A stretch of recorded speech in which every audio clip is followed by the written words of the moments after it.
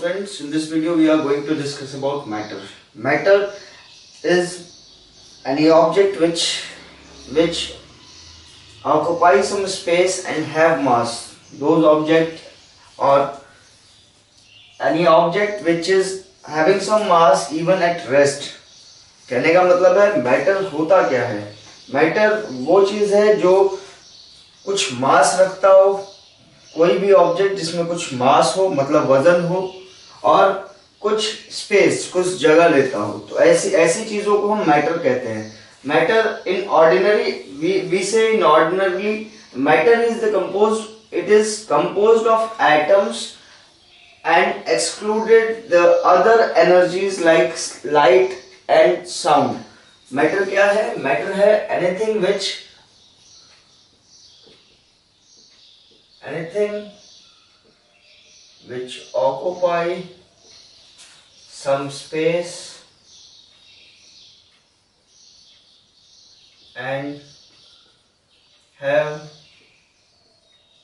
mass even at rest. Matter क्या है?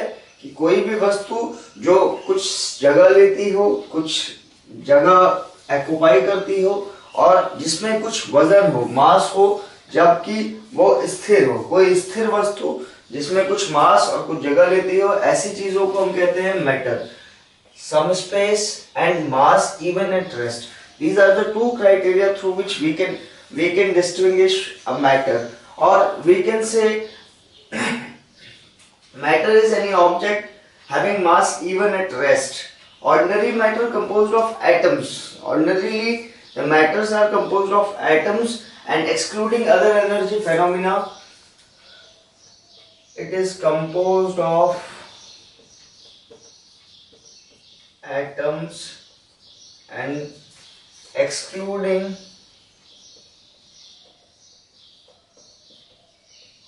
other phenomena like of energy like sound, right etc यहाँ हम matter ऐसे कह सकते हैं कि मैटर एक कंपोजिशन है, एक एक कंपोजिशन है किसका? एटम्स का। एटम्स का, जिसमें बाकी एनर्जीज को हटा दिया जाता है, जैसे और एनर्जीज को हटा करके जैसे साउंड लाइट इनको छोड़कर। ये कंपोजिशन है एटम्स का, जिसके थ्रू जिसके थ्रू कोई कोई भी वस्तु जगह और मास रखती है, यानी मास ऑक्योपाई करती है।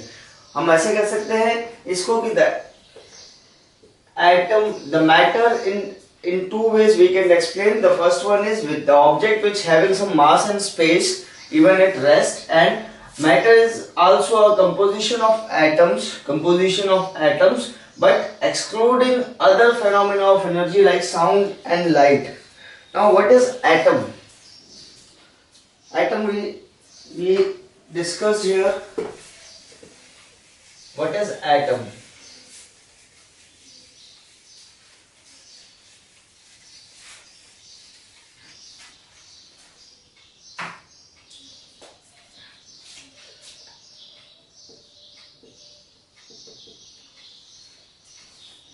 all the objects from our everyday life which all the objects from everyday life that we can touch feel or we can we can sense is are composed of atoms कोई भी वस्तु जिसे हम अपने दैनिक जीवन में छू सकते हैं या महसूस कर सकते हैं वो किस चीज़ से बना होता है एटम से तो atom is the smallest smallest constituent of ordinary matter.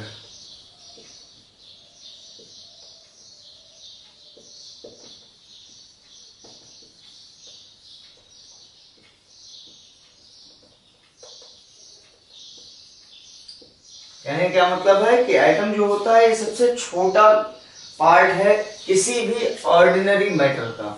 Ordinary matter हमने जैसा कहा कि इसमें स्पेस हो, जो कुछ स्पेस लेता हो और जिसमें कुछ मास हो, जब वो स्थिर हो तब भी। तो एटम सबसे छोटा कंस्टिट्यूएंट है। But there are so many there are some sub atomic also exist. Previously we know that the atom is the smallest particle in this universe but later on we, we discovered that there are two parts in atom. The first one is nuclei and another is electron. Electrons are negatively charged and nuclei is positively charged. These are the two constituent of atoms. The nuclei is a, is a circular heavy, heavy system in the center which consists of two parts. The first one is proton and the another is neutron.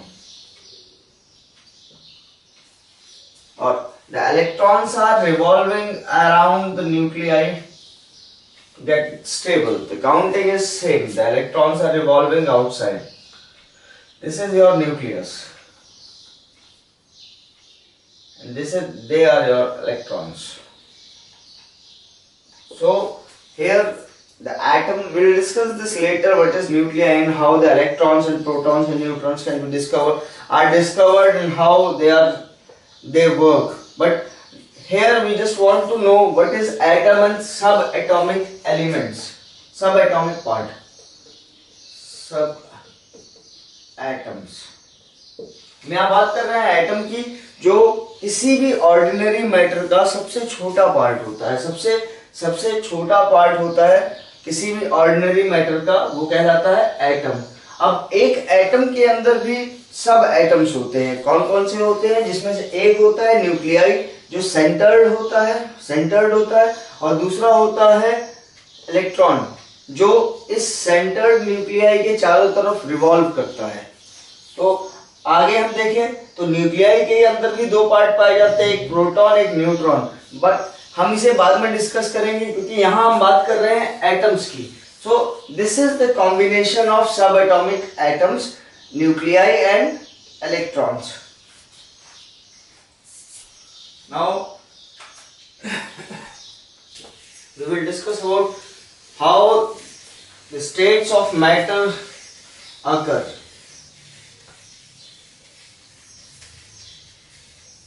States of matter.